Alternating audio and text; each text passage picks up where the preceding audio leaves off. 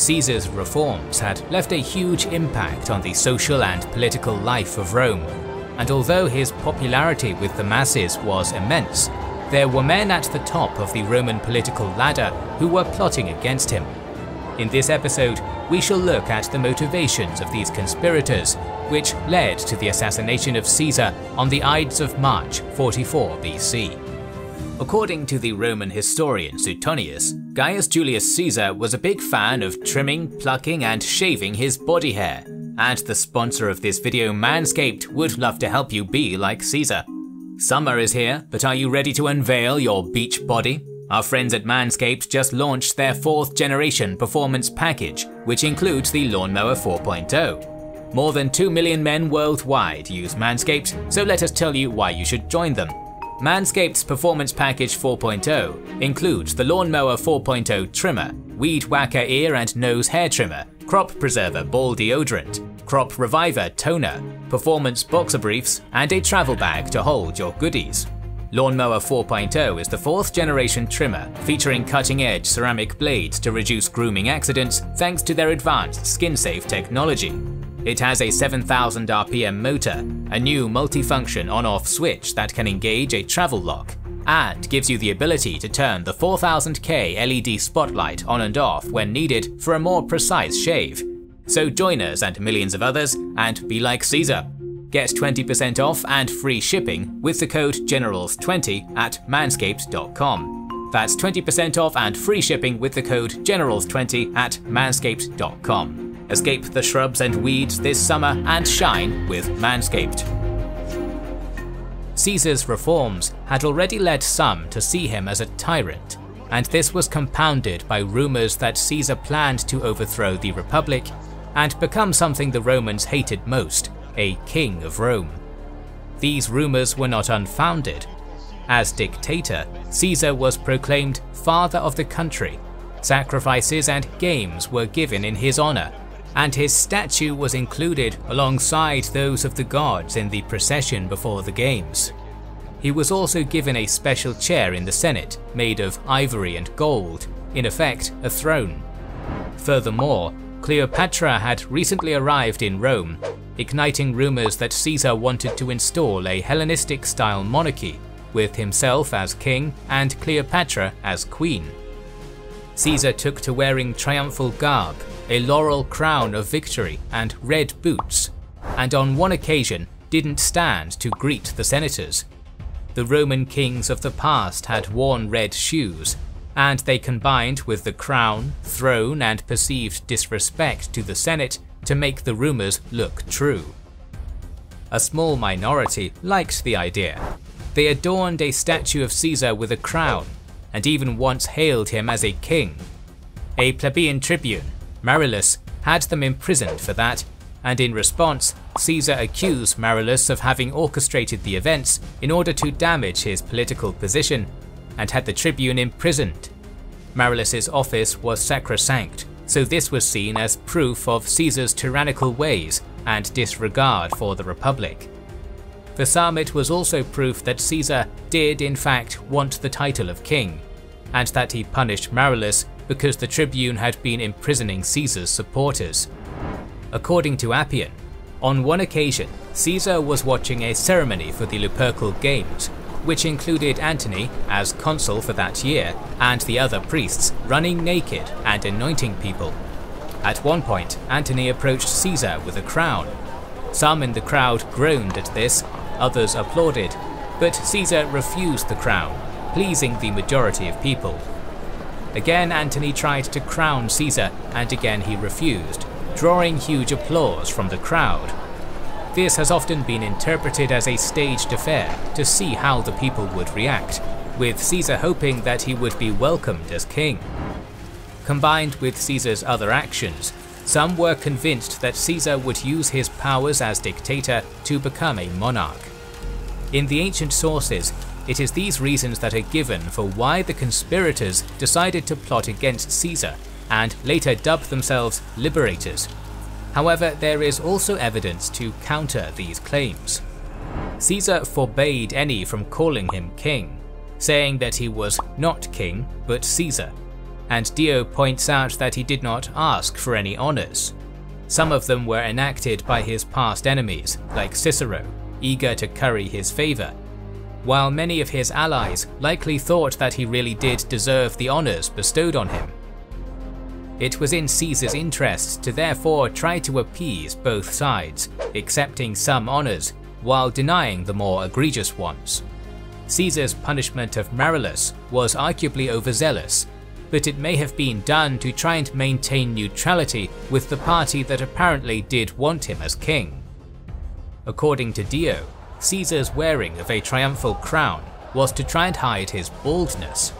Similarly, Plutarch claims that Caesar not standing to meet the Senate was due to Caesar's illness, which often made him dizzy and faint if he stood up quickly after being sat for too long. Lastly, there is the anecdote of Antony crowning Caesar. When one considers the image of a naked, oiled Antony offering the crown to Caesar, it's harder to see it as a cunning political ploy. In fact, it's arguably much closer to a joke in bad taste, or a charade to amuse the masses. Finally, one must also consider the question of why Caesar would have wanted to be king. As Plutarch and Dio both point out, he effectively had all the power of a king, so why also have a title that carried such heavy political baggage in Rome? It's hard to think that Caesar would not have known how foolhardy such an idea was. Some modern historians have suggested that the conspirators' idea that they were saving the Republic was mere propaganda, and that many were motivated by more personal factors. In total, there were 60 conspirators, all senators. We know the names of 20, but only 12 are described in enough detail in the sources for their personal motives to be assumed. Marcus Junius Brutus had fought with Pompey, and was spared after Pharsalus. Welcomed by Caesar, he was appointed governor of Cisalpine Gaul. Brutus's mother was a lover of Caesar, and the two men were close. False but still humiliating rumours circulated that he was Caesar's bastard, and even that his mother had prostituted his half-sister to Caesar. Ancient and modern historians have claimed that they were likely a key motivator for him. However, Brutus was a supposed descendant of the semi-legendary Brutus who had ousted the last king of Rome, so many insisted that he be the one to take action against Caesar's kingship. He was the conspirator who had the most genuinely idealistic motive to assassinate Caesar. An experienced general with a solid military career, Gaius Cassius Longinus was also forgiven by Caesar in the aftermath of the Battle of Pharsalus. He became a legate in Caesar's army in Egypt, but refused to fight against Pompeians. Nevertheless, he was earmarked by Caesar to be governor of Syria. However, Caesar had hampered his career a few times, preventing him from becoming edile and postponing his consulship. Though he was made legate, Cassius probably deserved a higher command based on his experience. It's apparent that Caesar never really trusted him, and he was right not to. Cassius had plotted to kill Caesar from as early as 47 BC, and genuinely hated Caesar. Certainly motivated in part by his Pompeian loyalties, Cassius disliked Caesar for personal reasons, and was the most active about the plot. Decimus Junius Brutus had fought with Caesar in Gaul, and was one of his most promising subordinates. He was made praetor by Caesar and was set to be the governor of Cisalpine Gaul after Marcus Brutus's term. Caesar loved Decimus, as shown in Caesar's will that named him as a second-degree heir, a fact unknown to Decimus. This meant that if Octavian had died before, Decimus would have been legally adopted by Caesar and been his heir. His motivation is incredibly difficult to ascertain, the best argument usually coming down to pure greed for power. Another veteran of the Gallic Wars, Gaius Trebonius, was one of Caesar's most reliable legates. Caesar had appointed him as urban praetor, then governor of Hispania Ulterior, and finally consul in 45 BC. However, his year as consul was undermined by Caesar, who appointed a replacement consul for Trebonius's colleague, who died just one day before the end of his term, which was considered a mockery of the consulship. Trebonius may well have seen this as an insult, motivating him to join the plot. Previously, he also participated in a failed plot against Caesar, suggesting to Antony that they should murder Caesar. The latter rejected the offer, and the plot had not developed any further. One of Caesar's strongest supporters, Tillius Cimber, was rewarded for his loyalty with the governorship of Bithynia and Pontus. However, he was deeply annoyed that Caesar did not recall his brother, Publius, who was exiled for unknown reasons, possibly leading to his involvement. Publius Servilius Casca was one of the oldest friends of Caesar. Casca appears to have fallen on hard times financially and may well have been angry that his old friend had not helped him more in this regard. His brother Gaius joined the plot to support Publius. A tribune of the plebs, Pontius Aquila, was publicly mocked by Caesar when he refused to stand during one of Caesar's triumphs. He also had some land confiscated and given to Brutus's mother, Caesar's lover, giving him a deeply personal motivation for joining the plot. Another man who was Caesar's legate in the Gallic Wars, Servius Sulpicius Galba, was a thrifty man. He had guaranteed a loan of Pompey's, and when Pompey's land was confiscated, he inherited the debt. Galba was annoyed and had complained to Caesar, who promptly paid the debt himself. Another debt later emerged from these same circumstances which Caesar was less willing to help with, much to Galba's outrage. There were also rumours that Caesar may have been sleeping with his wife. Quintus Ligarius's life was spared by Caesar after the Battle of Thapsus, but he was later put on trial for apparently conspiring with Juba of Numidia and threatened with exile. Cicero defended him, and Caesar pardoned him. Nevertheless, he had been deeply depressed at the idea of being exiled. Furthermore, Caesar had executed a relative of his for taking up arms against Caesar despite already having been pardoned. These reasons, and friendship with Brutus, likely brought him into the conspiracy.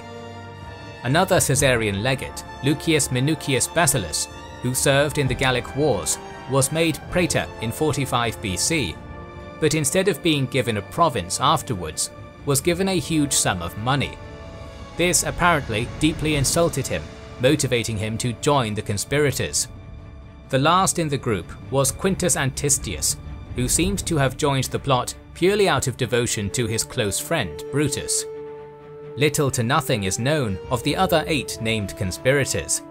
In all likelihood, some really did believe that they were ridding Rome of a tyrant as they would later claim.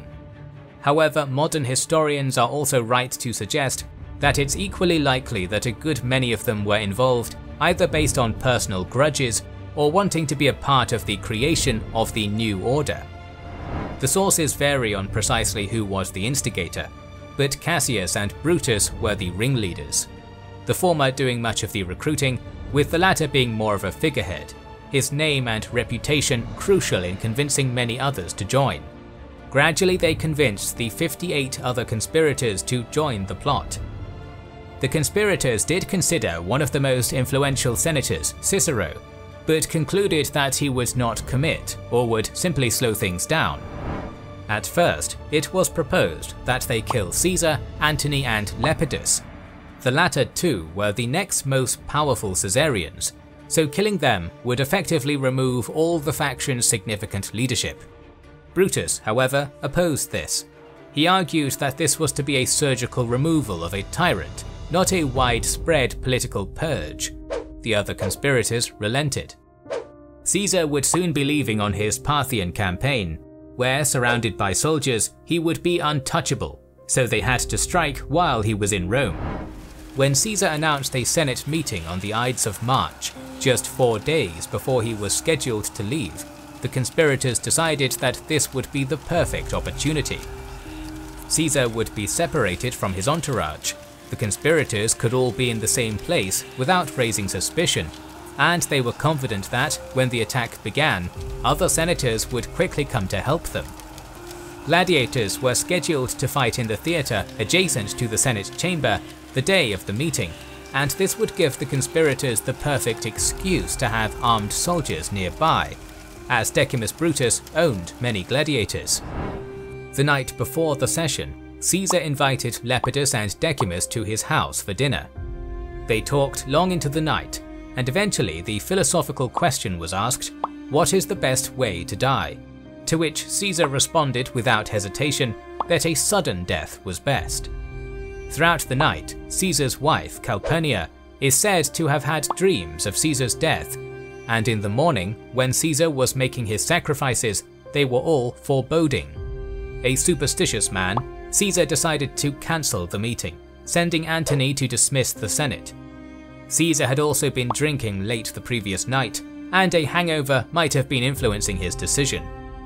When the conspirators heard of this, they sent Decimus to convince Caesar to come to the Senate. Decimus told Caesar that the Senate would be insulted unless he dismissed them in person, and Caesar relented, trusting his friend's judgment. Meanwhile, word of the conspiracy had started to leak. A friend of Caesar's had heard of the plot and didn't know the details. He immediately ran to Caesar's house to warn him, but finding Caesar had already left for the Senate, decided to wait at his house. Another friend would also find out about it that same day and ran to the theatre of Pompey to try and warn Caesar, but would arrive too late. Lastly, as Caesar was making his way to the theatre, someone slipped him a message. Surrounded by crowds of supporters and constantly having messages passed to him, Caesar slipped it into his robes without reading it. Later found on his body, it was a warning of the upcoming assassination. When Caesar arrived at the theatre, Antony, the conspirators and the other senators were all there. The conspirators were acting casual, despite the daggers hidden under their togas, but they were secretly nervous. A man approached Casca and said, Brutus has told me everything, which shocked Casca, before he realized that the man was referring to his intention to run for Edile. Another senator approached Caesar, talking to him in hushed tones.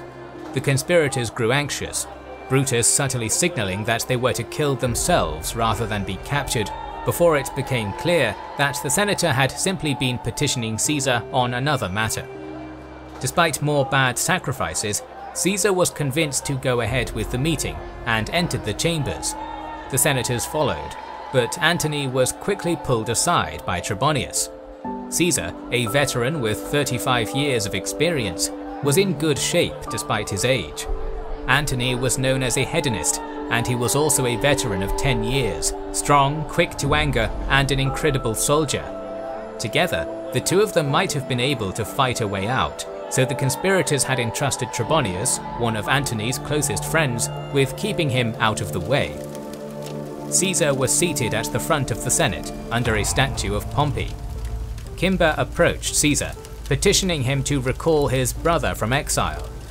The other conspirators gathered around, encircling Caesar, and suddenly Cimber pulled Caesar's toga down, exposing his shoulder, the signal for the attack. Caesar, who as dictator was protected by law, pushed Cimber back, saying, This is violence! Casca, Caesar's childhood friend, then attacked the seated Caesar, but missed, only cutting his shoulder. Caesar grabbed Casca's hand, shouting, Casca, what are you doing? While Casca simultaneously shouted, Brother, help me! Caesar was able to rise and violently throw Casca away from him, but by the time he did, Casca's brother Servilius had attacked, stabbing him in the side. Caesar continued to fight back, but was attacked from all directions, Cassius slashing his face, Bucolianus stabbing him in the back, and Decimus slicing his thigh. Still, Caesar fought back as much as he could. Brutus was the next to approach him, and Caesar sunk down, either due to blood loss or having now lost the will to fight, and Brutus stabbed him in the groin. Caesar pulled his toga over his head to hide his face, just as Pompey had done when he had been betrayed and murdered. Caesar resigned himself to his fate and died in a pool of blood at the base of the statue of Pompey. Suggestions that his last words were either, and you Brutus, or, and you my son, are largely disproven by the ancient sources, most simply saying he groaned in pain. His body had 23 stab wounds, many of which happened after his death, when the conspirators had gathered around to stab his body, some even wounding each other. Only the six mentioned senators stabbed him while he was alive, which means that less than 1% of the Senate had actually taken part in the assassination. Furthermore, the analysis of his corpse at the time determined that only one, the attack from Servilius, was fatal. The fact that they could not strike a fatal blow on an unarmed, already wounded man perhaps tells us something about quite how panicked they were. Out of 60 conspirators, most did not even take part in the stabbing, suggesting that many had joined simply out of political opportunism. Gaius Julius Caesar had been assassinated by men who had either been spared by him or trusted as friends. Dio later wrote of Caesar that if he could have chosen, he probably would have wished he could have died at Munda as a soldier. Even the ancient historians who are critical of Caesar, such as Dio, recognize that such a death was somewhat of a tragic end. For some, Caesar was a warmongering tyrant, driven by a lust for personal glory. To others, Caesar was a leader who tried to fix a system that was clearly broken and was killed before that goal could be reached. Some see Caesar as a combination of both, or something in between. What all can agree on, however, is that Caesar changed the world. By accident or design, his actions ultimately led to the rise of the Roman Empire, and all the effects, good and bad, that would bring. Two of the most interesting things that Caesar has left us today are two questions. Did Caesar make the world a better place? And what would have happened if he had survived? We're planning to cover the civil wars in the aftermath of Caesar's assassination in the near future, so make sure you are subscribed and have pressed the bell button to see them. Please consider liking, commenting and sharing, it helps immensely. Our videos would be impossible without our kind patrons and YouTube channel members, whose ranks you can join via the links in the description to know our schedule, get early access to our videos, access our Discord and much more. This is the Kings and Generals channel and we will catch you on the next one.